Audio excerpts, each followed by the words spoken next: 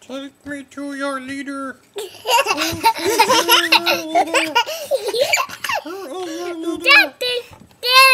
Take me to your leader. Oh, hello. You're very cute for human children. Oh, thank.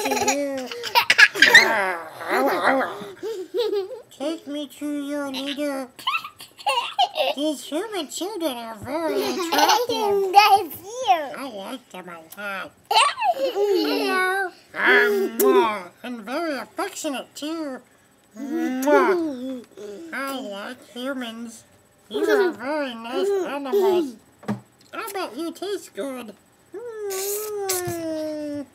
Yeah, but you don't smell good. No.